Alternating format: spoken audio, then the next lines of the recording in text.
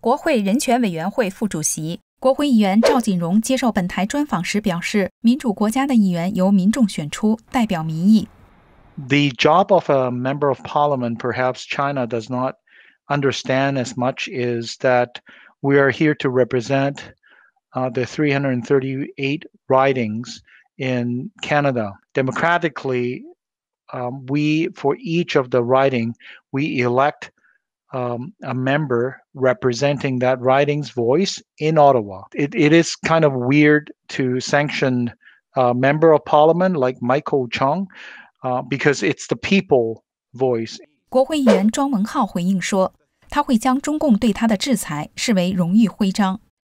赵锦荣指出，中共这一报复行为是对民主国家民意的威胁。If China are to be angry or to exercise some sort of revenge, um, then they they need to consider uh, sanctioning the entire population of, of Canada because it's their representative who actually voted uh, on the Uyghur motions here. 新疆人权法案将对那些施暴的中共官员进行制裁。We've been advocating uh, the government of Canada, Justin Trudeau, to use the Magnitsky Act, the equivalent of the Magnitsky Act in Canada, which is the Justice for um, Victims uh, by uh, Corrupted Official Act, to sanction uh, these, uh, you know, Chinese officials who are directly responsible for for uh, the the atrocities, right?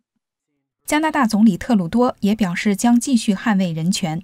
加拿大外长马克·加尔诺在声明中说：“中共的制裁是对民主体制国家透明度和言论自由的攻击。”加拿大最大的反对党保守党领袖奥图尔发表声明，呼吁全世界关注中共对新疆维吾尔人的种族灭绝。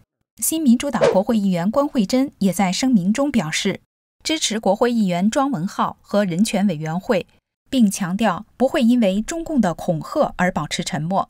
新唐人记者李薇、安妮，加拿大渥太华报道。